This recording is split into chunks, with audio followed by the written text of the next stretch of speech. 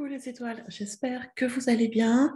Euh, vous l'avez peut-être constaté ou pas, je ne sais pas. Euh, la semaine dernière, je n'ai pas fait de vidéo sur les énergies de la semaine, euh, tout simplement parce que j'ai décidé de faire cette vidéo des énergies tous les 15 jours. comme j'envoie à l'heure actuelle aussi ma newsletter tous les 15 jours. vous allez sûrement me dire pourquoi cette décision? Eh bien, euh, parce que c'est moi la patronne, c'est moi qui décide. en soyons sérieux. Soyons sérieux, euh, cinq minutes. Tout simplement parce que, alors je suppose que vous l'avez remarqué, les énergies sont extrêmement fortes, de plus en plus fortes, je dirais même, et cela ne va pas s'arranger sur le mois d'avril. Bon, je vous le dis tout de suite, ça ne va pas du tout s'arranger sur le mois d'avril, et ce qui est normal. C'est tout à fait normal. L'univers euh, met un, je dirais, met un coup d'accélérateur sur son évolution, sur euh, euh, son avancée, et met un coup d'accélérateur sur sa montée en vibration. Ce qui fait que par répercussion, la Terre aussi met un coup d'accélérateur. et c'est tout à fait accompagné par les astres et par tout ce qui se passe en ce moment. Et du coup, eh bien, pour nous aussi, êtres humains qui vivons sur la Terre et qui connectés, qui sommes connectés, pardon, à l'univers, au ciel, à la source, eh bien, nous aussi, cela nous met un coup d'accélérateur. Euh, il se trouve que pour l'être humain, c'est un peu plus complexe parce que même si au niveau de la conscience, les montées en conscience, les sauts quantiques se font, j'allais dire, de façon assez simple. Au niveau 3D, là où est notre corps physique, puisque notre corps physique reste dans sa troisième dimension, hein, il ne va pas disparaître, il n'est pas en train de, s'étioler ou de devenir énergie, hein. il est toujours là, bien compact, bien solide, bien ancré en terre. Et notre corps physique, par contre, a besoin de temps pour intégrer ces nouvelles énergies. Et il a surtout besoin de plus de temps que notre conscience ou que notre esprit pour intégrer ces énergies. D'accord? C'est pour ça aussi que depuis des mois, je répète, de ralentir le rythme, de se reposer, c'est pour mieux intégrer ces énergies. Euh, certains l'ont compris à leur dépens, refuser de ralentir pour continuer à faire, faire, faire, faire, être dans le stress et, toujours aller plus vite, plus vite, plus vite, euh, garder la pression physique, mentale, psychique et tout ça, eh bien, euh, ça fait des burn-out, ça fait des crises de colère, ça fait des maladies, des chutes où on se casse la cheville, casse les côtes, voilà ça implose, voire explose, avec des arrêts plus ou moins longs. Tout simplement, si notre esprit refuse le ralentissement, notre corps l'impose. tout simplement, on va être très clair. Et comme tout le monde, étant euh, dans un corps d'humain, je suis aussi impactée par ces énergies que vous. Euh, je le répète régulièrement, ne croyez pas que parce que je suis chamane ou parce qu'un tel est thérapeute ou parce qu'un tel a euh, beaucoup de connaissances et que vous le voyez comme un être super spirituel, je mets des guillemets parce qu'on on est des bébés, on a encore plein de choses à apprendre. Euh, malgré tout, toutes les connaissances qu'on peut avoir, malgré toutes les canalisations qu'on peut faire, malgré tout ce qu'on peut pressentir, eh bien, nous sommes tous des êtres humains et nous sommes tous euh, assujettis à ces très fortes énergies. Personnellement, cela fait quasiment un an que j'ai attaqué à bien ralentir mon rythme quotidien. D'accord euh, De différentes façons, que ce soit au niveau professionnel, en organisant mon temps de travail de façon différemment, en ne me surchargeant pas euh, de soins au quotidien, je reste disponible pour faire les soins aux autres avec un grand plaisir.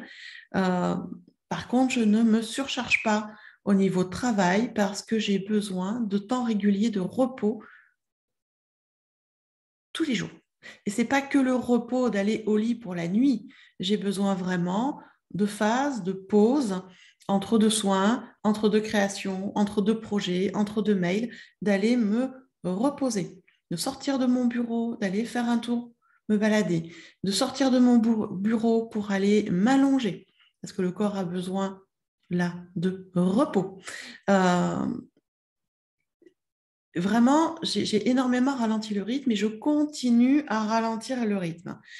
Euh, quand je vois ce qui arrive sur le mois d'avril, euh, je suis ravie d'avoir mis en place tout ce que j'ai mis en place ces derniers mois, qui me permet d'être dans une énergie slow, dans une vie slow et sereine, parce que je sais que ça va m'aider à passer ces prochains caps de ces prochains mois, de ces prochaines années, parce que je vous le dis tout de suite, les énergies de l'univers, de la Terre ne vont pas arrêter de grimper. On est parti en mode ascension. L'ascension est là pour un bon moment. Donc, ça veut dire ralentissez vraiment. C'est pour ça que j'ai décidé euh, de ne faire ma newsletter et de ne faire cette vidéo des énergies que tous les 15 jours à partir de maintenant. Voilà. Donc, il y en aura deux par mois. Donc, je vais vous parler effectivement des énergies pour les 15 prochains jours. Euh, et euh, ce sera comme ça pour un temps. Je ne sais pas pour combien de temps. Euh, peut-être qu'à un moment, je déciderai d'arrêter complètement. Peut-être qu'à un moment, je déciderai de revenir à toutes les semaines. Je ne sais pas. je ne me projette pas. pas aussi loin, en tout cas. Pas pour cette euh, pas pour cette activité-là. je ne me projette pas euh, là-dessus. Je fais vraiment au fur et à mesure des énergies, au fur et à mesure que le temps passe, euh, pour faire au mieux.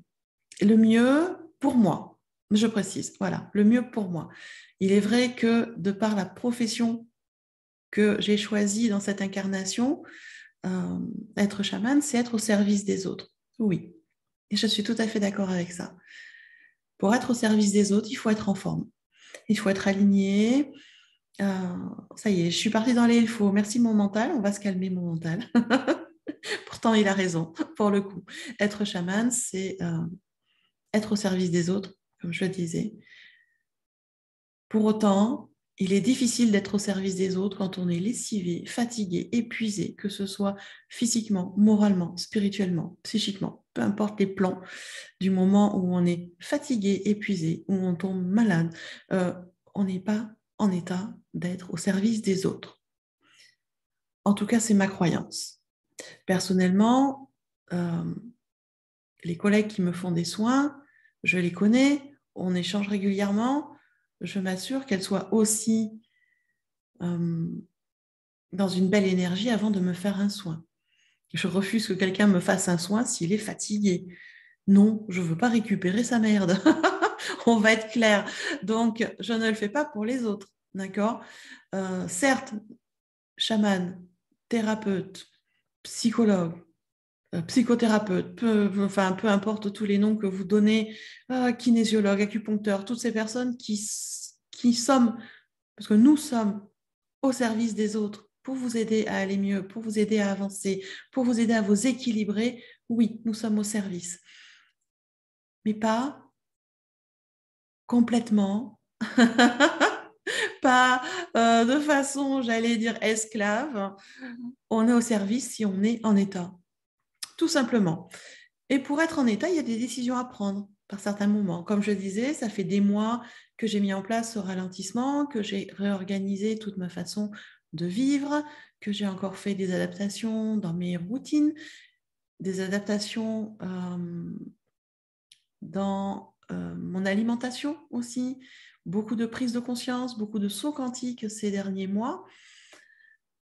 Tout ça pour être au meilleur de ma forme, pour vous servir au mieux ça veut dire aussi prendre des décisions, comme celle de ne faire cette vidéo des énergies que tous les 15 jours, euh, comme celle de faire certaines modifications euh, dans ce que je vous propose. Par exemple, euh, je propose des soins individuels, mais je propose également des initiations pour les gens qui veulent être formés sur des techniques énergétiques à haute fréquence vibratoire aligné avec les énergies du moment, eh bien, jusqu'à présent, vous pouviez directement euh, réserver votre place via mon site.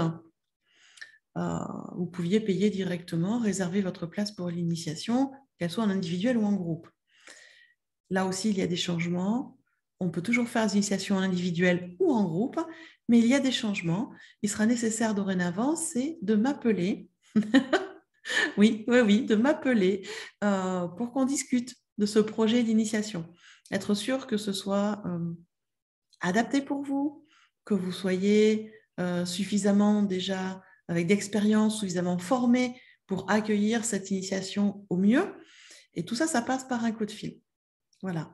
Il n'y aura plus possibilité d'acheter directement la place d'initiation comme ça en ligne. Il faudra passer par moi euh, pour qu'on en discute. Alors, ce ne sera pas non plus euh, de façon aléatoire comme ça. Je prends le téléphone, je fais le numéro de Cécile et pif, paf, pouf, j'appelle au petit bonheur la chance, on verra si elle répond. Non. J'ai ouvert des créneaux spécifiques pour pouvoir recevoir les appels de toute personne qui veut se former aux initiations de soins avec moi. Donc, c'est en général en fin de journée, 17h, 19h, le lundi, le mardi, le jeudi. Le vendredi, ce sera 18h, 19h. 17h, 18h, je ne sais plus. Bref, il y a une heure euh, en fin d'après-midi. Et le samedi matin, où j'ai mis un créneau aussi. Voilà, il y a des, horaires et des jours particuliers pour prendre le rendez-vous, réserver votre créneau de rendez-vous pour m'appeler.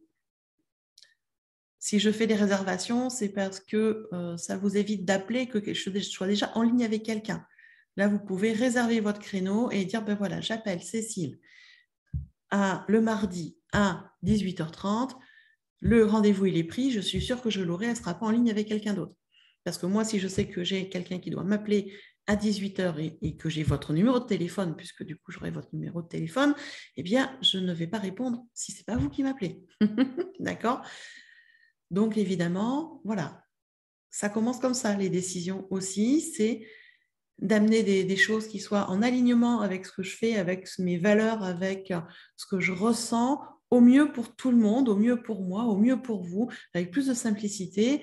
Et je pense que voilà, quatre soirs par semaine, plus le samedi matin pour me joindre, ça laisse un panel quand même assez large pour tout le monde, entre ceux qui sont salariés, ceux qui travaillent, toute la, qui travaillent tard toute la semaine, il y a le samedi, ceux qui finissent plus tôt peuvent m'appeler en semaine, il y a quand même un panel assez large pour que tout le monde puisse m'appeler. Parce que bien évidemment, les initiations ne sont pas réservées qu'aux thérapeutes installés officiellement.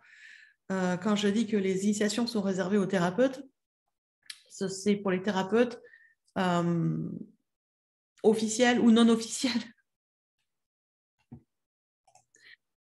Parce que bah, je connais des personnes qui font des soins et des soins merveilleux et qui sont en même temps salariés d'accord? Et qui continuent à se former. Ils ne sont pas encore officiellement thérapeutes à 100% et ils ont le droit. C'est tout OK. Donc, c'est pour ça que je dis c'est pour les thérapeutes, officiels ou non, mais surtout des thérapeutes qui ont l'habitude des énergies. Ça, par contre, pour pouvoir faire des initiations avec moi, c'est indispensable.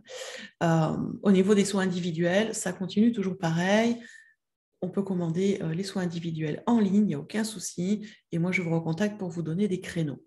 Euh, pour le soin transgénérationnel, il y a aussi une modification. Une fois que vous avez commandé votre soin transgénérationnel, vous recevez un mail avec un lien Calendly pour fixer vous-même euh, la date du soin transgénérationnel.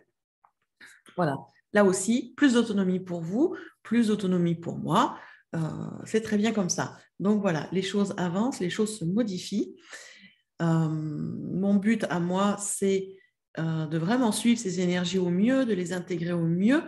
Euh, c'est vrai que je canalise et que je reçois des informations avec de l'avance. ça me permet de me préparer, ça me permet d'intégrer, ça me permet de travailler sur moi pour mieux vous accompagner après. D'accord? Et en fait, tout ce que je dis, tout ce que j'échange, euh, quand j'explique qu'il faut ralentir, quand j'explique qu'il faut prendre soin de soi, eh ben, je l'applique. voilà, je l'applique. Euh, en vient cette vidéo qui ne sera du coup maintenant publiée que tous les 15 jours, donc qui sera sûrement un peu plus longue. Alors celle-ci va être un peu plus longue parce qu'il y a les explications, et puis les autres seront un peu plus longues que d'habitude parce que bah, c'est 15 jours d'énergie et pas une semaine. Donc, bah oui, ça fait un peu plus long. Voilà. Donc, euh, tout ça pour ça, j'allais dire. Je ne sais pas déjà combien de minutes je blablate. Enfin, tout ça pour ça. Euh, donc, ce sera une vidéo des énergies tous les 15 jours. Et là, on démarre sur cette fameuse 13e semaine de l'année, qui est la semaine du 28 mars. D'accord? On démarre sur le 28 mars et on va finir du coup sur le 10 avril. 15 jours, deux semaines, 15 jours. Donc les énergies du 28 mars au 10 avril, c'est quoi? Bah, c'est bousculant. Je vous le dis tout de suite. Je vous le tout de suite. Euh, alors pour ceux qui sont abonnés à la chaîne, vous avez euh, peut-être déjà écouté la vidéo de la nouvelle lune qui vous donne un aperçu. Si ce n'est pas le cas, je vous invite à aller l'écouter, d'accord? Euh, Et sachez qu'une vidéo sur les énergies d'avril, de tout le mois d'avril, euh, est déjà, j'allais dire, dans le back-office et sera publiée vendredi soir, le 1er avril à 18h30. Je vous encourage vivement à l'écouter ce mois d'avril va être extrêmement chamboulant, mais extrêmement également porteur, avec de jolies créations, avec de jolies choses. Euh, et c'est bien d'en être averti, du coup, pour pouvoir aussi s'organiser, pour pouvoir se positionner au mieux, pour, pour euh, anticiper aussi que certains jours vont être peut-être plus compliqués que d'autres et que du coup, peut-être que ces jours-là, il serait intéressant de ralentir un peu plus c'est aussi pour ça que je fais ces vidéos-là. Donc, je vous encourage vivement à aller les écouter. Euh, avant de démarrer les énergies des 15 jours, petite pause euh, commerciale obligatoire. Je n'aime pas ça, mais bon, ça fait partie du jeu de YouTube où ben, on propose des contenus gratuits, d'accord, qui nous demandent à tous et à toutes, hein, les YouTubeurs, euh, du travail parce que enregistrer une vidéo, euh, la rendre euh, visible, la rendre audible de façon correcte, la mettre sur YouTube, ça, ça, ça nous demande du, temps, ça nous demande du travail. tout ça ben, gratuitement quand même. Et en contrepartie, eh bien, ce qu'on vous demande, et c'est valable pour tous les youtubeurs, c'est pas valable que pour moi, euh, mais on vous demande des petits gestes euh, tout simples et la plupart du temps gratuits, c'est-à-dire de mettre un pouce sur la vidéo comme quoi vous l'avez aimé, de partager la vidéo sur vos réseaux, euh, de commenter aussi, parce que ça, ça aide l'algorithme à comprendre que la vidéo est, est bien, que la vidéo vous plaît, qu'elle a du succès. Donc, du coup, il référence euh, la chaîne, il référence la vidéo et il fait des suggestions pour que les gens viennent sur la chaîne. Donc, ça, ce sont des petits gestes gratuits, mais qui sont très soutenants pour euh, moi, déjà pour ma chaîne et puis pour tous les youtubeurs. Donc, euh, eh bien, petite pause commerciale, allez-y, faites un petit pouce, faites un, commentaire, même simplement pour dire bonjour, c'est toujours sympa. partagez la vidéo sur vos réseaux, vous pouvez. Et vous pouvez également vous abonner. Vous cliquez sur, par là, oh, c'est par là, il me semble que c'est par là, euh, le petit euh, bouton abonner. Et puis vous avez la cloche et vous cliquez sur la cloche et vous choisissez et vous mettez euh, toutes les vidéos. Comme ça, vous êtes au courant d'un maximum de vidéos. Je dis maximum parce que moi-même, je suis abonnée à certaines chaînes et il y a des fois, je ne reçois pas la notification. Donc, si je n'étais pas abonnée, je n'en recevrais pas du tout. je reçois, on va dire, 90% des, vidéos, des notifications, mais des fois certaines passent à la trappe, même quand on est abonné. Donc si vous ne voulez pas louper de vidéos, ben, je vous invite vous abonner et puis à faire toutes ces petites choses gratuites hein, qui nous font plaisir et qui nous montrent euh, ben, que les vidéos vous plaisent, euh, qu'elles vous apportent euh, de la valeur et ça nous encourage à continuer. D'accord? Ce n'est pas qu'une question monétaire parce que Oh, je vais être claire avec vous. Euh, YouTube, me rapporte à peu près entre 30 et 50 euros par mois. Je ne vais pas aller loin avec ça. Donc, vraiment, je ne le fais pas du tout pour le côté euh, monétisation. Euh, je le fais parce que j'aime blablater, parce que j'aime le format vidéo. Je trouve qu'il est très intéressant. On peut regarder, on peut simplement écouter. C'est pareil. Et moi, j'adore ça, donc je le fais avec grand plaisir. Mais c'est vrai que quand il y a des abonnés, quand il y a des likes, quand il y a des commentaires, quand il y a des partages, mais ça fait plaisir et ça encourage à continuer. donc, merci pour tous ceux et celles qui feront ces gestes-là, qui vous prennent 10 secondes et qui sont complètement gratuits. Terme de blablatage euh, commerciaux et compagnie, euh, passons sur ces 15 prochains jours, donc du 28 mars au 10 avril. Je vous le disais, on est sur une période qui est fortement bousculante. On va changer de mois. Alors, changer de mois, ça veut dire qu'on change de vibration. D'accord? Euh, Sur ce mois de mars, on était sous les vibrations 33 et dérivées, du 6, voilà. Et sur le mois d'avril, on va passer sur d'autres vibrations, dont la vibration 44. Je ne vais pas détailler les vibrations, puisque vous avez une vidéo qui sort vendredi exprès euh, bien rempli pour tout ça. Là, je vais vous parler de ce qui se passe au niveau énergétique pour ces 15 prochains jours. Donc, qu'est-ce qui se passe? Il se passe certaines petites choses, hein, parce que déjà, mercredi, donc le 30 mars, on aura un passage énergétique, d'accord, pour ce dernier jour de mars, un des derniers jours de mars, passage énergétique sous la vibration 33 et 6, justement. Et puis, on change de mois. On arrive sur le 1er avril, sur la nouvelle vibration en 44, et également sur la nouvelle lune. Eh bien oui, ce mois d'avril, il est super riche parce qu'on a deux nouvelles lunes et une pleine lune. Mhm. déjà là, on a trois phases de lune. D'accord? Ce qui veut dire que sur le mois d'avril, en plus des passages énergétiques et du portail, on va passer tout un cycle de lune et démarrer un deuxième. Donc, euh, ça vous donne déjà un peu le tonus. D'accord? Euh, et cette nouvelle lune euh, du 1er avril, elle est magnifique puisqu'elle met en place la conjonction Neptune-Jupiter et donc l'ouverture, l'ouverture de tous les possibles, l'ouverture aux différentes dimensions, à tout, le spirituel, à toutes les, voilà, les dimensions. Les portes s'ouvrent au niveau spirituel, les portes s'ouvrent au niveau de la conscience. Et les portes qui vont s'ouvrir sont différentes pour chacun en fonction de là où on en est. Hmm. Intéressant, mais bousculant. Parce qu'on va peut-être ouvrir des portes qu'on n'avait pas eu idée, qu'on n'avait pas pensé. Donc ça bouscule. D'accord? Donc voilà, on commence là et ça va aller comme ça tout le mois d'avril. Euh, puisque le 4 avril, on a le portail énergétique, donc le jour où la vibration du mois se pose complètement. Et après, on va enchaîner des passages énergétiques, et Dieu sait qu'il y en a sur le mois euh, d'avril. Et euh, on va avoir notamment des passages énergétiques sur le 6, sur le 8 et sur le 10 avril. Et oui. Donc, sur les 15 prochains jours, on a quatre passages énergétiques, un portail énergétique et une nouvelle lune. Bon, comment vous dire que ouais, ça bouscule. On ne peut pas dire mieux. Hein. Tous les deux jours, il y a un truc. Ça bouscule. Alors, c'est pour notre bien, je le précise. D'accord? Euh, La source, l'univers, Dieu, vous l'appelez comme vous voulez, euh, n'est pas là pour, euh, pour vous emmerder. On va dire les choses crues.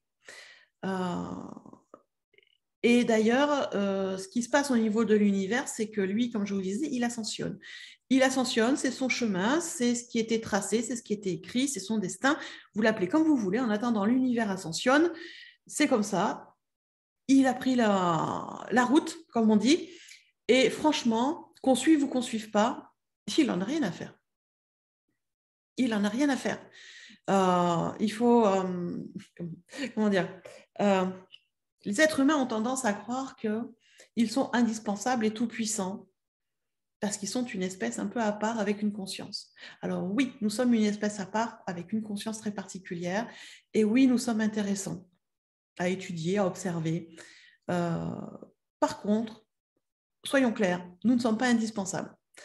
Quand vous regardez l'univers, quand vous regardez juste notre galaxie, prenez un temps de recul pour regarder notre galaxie, Regardez tout, tout, tout, tout, tout, les planètes et tout. Regardez déjà comme la Terre est minuscule dans toute cette galaxie. Et nous, êtres humains, nous sommes plus petits qu'un grain de poussière. Dans cette galaxie, nous sommes des grains de poussière. Alors, relativisons. Hein. Sortons de l'ego et du nombrilisme là de je suis parfait, Dieu divin, machin truc. Ouais, vous avez une part de divinité. On a tous une part de divinité, nous venons tous, tous de la source, comme les animaux, comme la terre, comme plein de choses. Mais alors nous sommes un grain de sable, mais un grain de poussière même. Et l'univers, il fait ça, il se débarrasse de nous. Donc à un moment, redescendez, hein, dégonflez l'ego, là, on redescend. L'univers, il continue à ascensionner, il va continuer, et il n'en a rien à foutre qu'on suive ou pas. Voilà, on est clair. À nous de faire en sorte d'avancer au mieux pour nous, dans les meilleures conditions, en s'adaptant le plus rapidement possible à ce qui se passe en nous et autour de nous. De toute façon, ce qui se passe autour de vous, ça se passe en vous. Hein. On est clair que notre réalité est le reflet, notre réalité extérieure, je reprends ma phrase, notre réalité extérieure est le reflet de ce qui se passe à l'intérieur de nous. Ouais, je sais, c'est pas plaisant à entendre, mais c'est la réalité, c'est comme ça. Ce sont les lois universelles. Donc, si dans votre vie c'est le chaos, c'est que c'est le chaos dans votre tête et dans votre corps. À un moment, prenez-en conscience, prenez votre responsabilité, d'accord Et faites en sorte que les choses s'équilibrent. Parce qu'évidemment, quand vous vibrez du chaos, vous attirez du chaos. Et vous attirez des gens qui, sont dans le chaos. Euh, quand vous en aurez marre de vous faire chahuter, vous ferez peut-être différemment. Et moi, je vous conseille, c'est voilà, de prendre soin de vous. Encore plus là, avec ce qui arrive. Ce mois d'avril, vous avez vu, les 15 premiers jours, on a déjà un portail, quatre passages énergétiques, une nouvelle lune. Euh, on est sur six phénomènes, euh, j'allais dire énergétiques, en 15 jours. C'est extrêmement fort. En sachant que le 30 mars, il y a le 30 ou le 31, enfin 30-31, euh, sont prévus, on le sait déjà d'avance, hein, grâce aux, scientifiques, des éruptions solaires extrêmement fortes qui viennent justement bah, ouvrir ces consciences, ouvrir ces portes de, la spiritualité, ces portes des mondes invisibles, parce que c'est ça, hein, on ouvre les portes des, des dimensions dites invisibles, des dimensions subtiles, des dimensions énergétiques. Les portes s'ouvrent avec tout ce que ça concerne derrière. Est-ce bon, est-ce mauvais? C'est vous qui allez en décider finalement, en fonction de comment vous allez digérer, prendre l'information et de ce que vous allez en faire. L'énergie, elle est neutre. Hein. Le bon, le mauvais, c'est humain, c'est vous qui en faites euh, ce que vous en faites. Donc voilà, on est quand même, on va être bousculé. Même pour ceux qui ont déjà mis des choses en place, même pour ceux qui travaillent sur eux depuis des années, qui ont fait des, des sauts quantiques, qui ont monté d'un niveau de conscience, qui ont libéré plein de choses, mais il y a encore d'autres choses qui vont remonter, il y aura encore d'autres choses sûrement à comprendre, d'autres choses à libérer. Et je fais partie du lot, hein, je vous le rappelle. je sais que je serai bousculée à un moment, je vous en parlerai si vous voulez, mais je sais que je serai bousculée aussi. Ça a déjà commencé, euh, voilà, avec des remises en question, avec des adaptations, avec des choses comme ça. Donc voilà, euh, ça va être chaud. Et du coup, ben, qu'est-ce qu'on fait? Qu'est-ce qu'on fait avec tout ça? Comment on s'apaise? Comment on s'équilibre? Euh, Eh bien, comme je vous le disais, on ralentit le rythme. Mais vraiment, même quand on est salarié, on ralentit le rythme. Vous ne serez pas payé à faire le boulot pour trois. Hein. Vous ne serez pas payé en plus. Hein. Vous n'aurez pas une médaille en plus. Euh, donc, faites le boulot nécessaire, euh, l'obligatoire. Ce qui n'est pas obligatoire, si vous êtes fatigué, peut attendre. Si vous sentez en forme, prenez de l'avance. Mais allez-y slow, allez-y tranquille. Euh, et c'est pareil à la maison. À un moment, apprenez à ralentir. De toute façon, si vous n'arrivez pas à ralentir, votre corps vous le dira. C'est clair, votre corps vous le dira. Euh, du coup, je garde l'habitude de tirer une carte de tarot, de tarot d'oracle, enfin c'est pareil. Euh, et là, ma guidance intérieure m'amène sur cet oracle-là. Euh, les cartes d'oracle de la lunologie de Yasmine Bolland.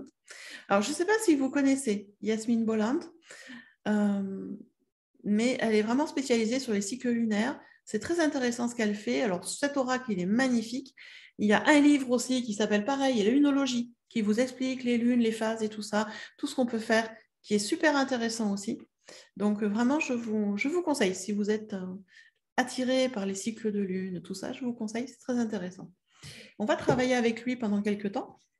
Et du coup, j'ai demandé quelle énergie allait pouvoir nous accompagner au mieux sur ces 15 jours, euh, quelle énergie allait être soutenante. Et la carte qui est arrivée est celle-ci. Je ne sais pas si ça va faire un focus, je ne pense pas. Euh, donc cette carte qui est magnifique, qui est Ayez foi en vos rêves, qui est la carte du premier croissant de lune. je la, trouve très belle. Je la trouve très belle, elle est très douce, elle est fleurie, elle est euh, pleine de promesses. Il y a des papillons. Les papillons, on est quand même euh, sur la transmutation avec le papillon. Donc, euh, et puis ce petit mot, ayez foi en vos rêves, qui, de prime abord, sans lire le petit livre, m'amène des choses assez intéressantes où je me dis, OK, donc sur ces 15 jours, on va s'appuyer sur notre foi, notre foi en nous, en la vie, en nos projets, notre foi en Dieu, notre foi en Bouddha, notre foi en notre spiritualité, euh, notre foi en notre famille, en nos amis, peu importe où vous placez votre foi, euh, mais pour le coup, ancrez-vous à votre foi. ancrez-vous à la terre, ça va être super important pour rester stable, euh, mais allez travailler aussi votre foi. peu importe où vous placez votre foi d'ailleurs, peu importe si vous soyez dans la religion, dans la spiritualité ou dans toute autre chose, mais euh, c'est vraiment ça, moi, qui m'arrive quand je vois cette carte. C'est travailler votre foi, rester bien euh, stable et bien accroché à votre foi. Ayez confiance dans vos rêves, ayez confiance dans votre intuition. On est dans une période de gros, gros nettoyage et de transmutation. Voilà ce qui m'arrive déjà de prime abord, simplement en regardant la carte. Et en plus, cette carte du premier croissant de lune, eh bien, on sera dans le premier croissant de lune sur la fin des 15 jours, euh, un peu avant le 10 avril. On sera sur cette phase lunaire d'ailleurs, sur le premier croissant de lune. Donc, euh, ben, merci pour la, pour la correspondance merveilleuse. Euh, mais voilà, c'est quand même très très beau. Je vais vous lire ce qui a marqué dans le petit livret qui va avec l'oracle. Et comme ça, vous en ferez votre propre interprétation. Alors, qu'est-ce que nous dit le petit livret? N'abandonnez pas. La situation qui vous préoccupe est toujours active. Vous n'êtes pas encore à la fin de l'histoire. Ce qui se passe maintenant n'est qu'une étape sur le chemin. Comme disent les classiques du développement personnel, tout ira bien à la fin. Si ça ne va pas bien, ce n'est pas la fin. Cependant, la carte du premier croissant est un rappel pour continuer à travailler dans l'objectif qui vous anime. Si vous ne pouvez pas faire des avancées pratiques, Prenez le temps de méditer sur la question que vous posez et laissez votre être supérieur télécharger l'information sur la meilleure étape à venir. Globalement, cette carte suggère qu'il y a toutes les raisons d'être optimiste quant à un résultat positif dans cette situation pour laquelle vous consultez. Alors gardez confiance. Les significations supplémentaires pour cette carte. Ce n'est pas parce que vous ne voyez pas de résultat que vos rêves ne sont pas en train de se réaliser. Ne regardez pas en arrière, restez concentré sur votre avancée. Soyez patient pendant le déroulement des événements. Creusez un peu plus pour trouver davantage de courage. La carte suggère vraiment que vous poursuiviez vos rêves il est temps de prendre un bon départ en direction de vos buts. Voyez, on se rejoint aussi dans les ressentis de cette foi, de garder foi, de garder confiance. Même si c'est une phase compliquée, ce n'est qu'une phase. Alors, je sais, des fois, la phase est plus ou moins longue. J'ai eu des phases longues comme ça de quelques années. Et on arrive à sortir du tunnel. Mais bien évidemment, la sortie du tunnel passe par du travail intérieur, de l'introspection, passe par se faire aider par des thérapeutes, par des psychothérapeutes, par des psychologues. Euh, quand les, phases sont hyper, hyper compliquées, hyper, hyper émotionnelles, voire hyper, hyper douloureuses, euh, il est nécessaire de se faire accompagner. Tout seul, on ne sortira pas de la phase. On va rester dedans, dedans et dedans et dedans. Parce que notre mental va toujours nous mettre des doutes, des peurs. Et, euh, on va se retrouver un peu comme... Hmm, comment vous expliquer? Euh, Je vais faire juste une aparté par rapport à une discussion que j'ai eue avec mon fils il y a euh, quelques jours, où on parlait justement des peurs, du mental quand il met son bazar, des peurs, des doutes et tout ça. Et il me faisait la comparaison avec euh, un prêche évangélique qu'il a écouté, où le pasteur a fait le rapprochement entre les peurs et, le, et les sables mouvants. Et je trouve cette image extrêmement juste et extrêmement forte. Quand vous êtes en train de vous balader dans certains coins de la planète, dans certains pays, des fois vous ne faites pas attention. Et puis d'un coup, vous dites, oh, ben, c'est pas grave, il y a un peu de boue, il y a un peu de, de... voilà, c'est juste une petite flaque, un peu de boue, c'est pas grave, je continue à y aller. Et puis là, vous ne faites pas attention et pouf, vous mettez les pieds dans du sable mouvant et vous commencez à vous enfoncer. Et plus vous vous débattez, plus vous, vous bougez dans tous les sens, plus vous essayez de sortir tout seul, que vous vous débattez comme un acharné, plus vous vous enfoncez au point de couler dans le sable mouvant. Alors que si vous arrêtez de bouger, que vous prenez le temps de respirer et que vous criez simplement pour demander de l'aide jusqu'à ce que quelqu'un arrive, la personne pourra vous sortir de là en vous tendant un morceau de bois, en vous tirant, elle vous sortira. Eh bien, c'est pareil avec le mental, qui nous envoie les peurs, les doutes, et plus on essaye de s'en sortir tout seul, plus on tourne dans notre mental, dans nos doutes, et on tourne dedans, et on s'enfonce, jusqu'à ce moment où on décide de stop. Ok, ça tourne dans tous les sens, je m'enlise, je m'enfonce, est-ce que je décide de me noyer jusqu'à toucher le fond ou j'arrête là, je prends du recul et je me demande qui peut m'aider à m'en sortir Et là, du moment où vous vous posez cette question, je vous assure que l'univers va vous envoyer une réponse. Un ami qui va vous donner le nom d'un thérapeute avec qui il a travaillé, qui a été super efficace. Ou vous allez regarder une vidéo YouTube et vous allez tomber sur la vidéo d'un thérapeute ou vous allez ouvrir un bouquin et dans votre bouquin, on va vous parler d'une technique qui peut aider justement ce qui vous tracasse. Bref, vous aurez une réponse d'une façon ou d'une autre. Et oui, et j'ai trouvé ça très juste, euh, le rapprochement entre le mental et les sables mouvants. Quand on laisse le mental nous diriger, on est dans des sables mouvants et on s'enfonce demande, si on ne demande pas de l'aide, c'est une catastrophe à un moment, il faut savoir se poser, demander de l'aide et apprendre à collaborer avec votre mental. Oui, je fais partie des thérapeutes, euh, des chamans qui euh, prônent la collaboration avec le mental qui est une partie de vous plutôt que de le tuer. je ne trouve, enfin, pour moi, c'est incohérent d'aller tuer une partie de soi. Mais c'est juste ma vérité, c'est ma croyance. Donc moi, je suis plutôt euh, partisane de collaborer avec notre mental, de l'écouter, de lui parler, de le rassurer pour qu'il reprenne sa place d'éclaireur. C'est ce que je fais avec le mien depuis des années. Ça fonctionne bien. Ça a mis du temps, mais ça fonctionne très bien. Euh, et c'est ce que j'explique aussi à mes clientes. Mais bon, voilà. C'est ma croyance, c'est comme ça. Et là, avec cette carte, là, vous voyez, pour les 15 jours, où on vous dit vraiment de garder confiance, d'avoir la foi dans vos rêves, dans ce que vous voulez, et que tout ira bien à la fin. C'est vraiment ça. Restez à travailler sur vous, sur votre confiance, sur votre foi, peu importe où vous la placez, votre foi. Et tout devrait aller bien. D'accord Bien évidemment, euh, je vous laisse me dire en commentaire qu'est-ce que vous pensez de cette carte, qu'est-ce que ça a réveillé en vous. quelle est votre interprétation, vous, de la carte, comment vous la ressentez. déjà parce que, d'une part, je suis curieuse de savoir voilà ce que vous en pensez. Et puis, je pense que c'est aidant pour tout le monde. Déjà pour vous, parce que vous l'expliquez, vous le marquez, vous l'écrivez. Donc, du coup, ça éclaircit la pensée dans votre tête.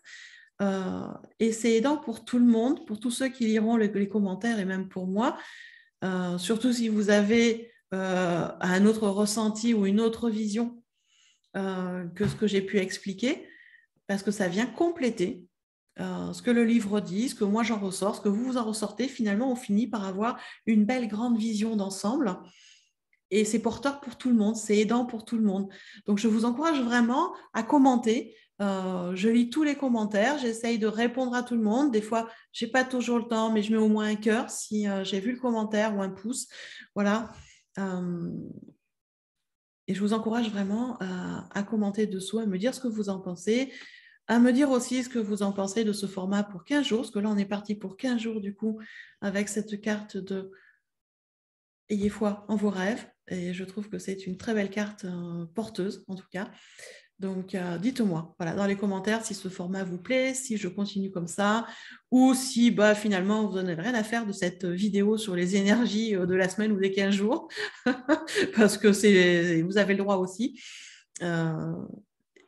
Et si vous avez bien évidemment des questions, des demandes sur des, sujets particuliers que je pourrais vous faire en vidéo, vous donner des explications ou des choses un peu particulières, c'est pareil. Dites-le moi en commentaire, je serai ravie euh, de faire des vidéos euh, sur des sujets beaucoup plus spécifiques comme j'ai pu faire il y a trois ans ou quatre ans. Euh, donc voilà.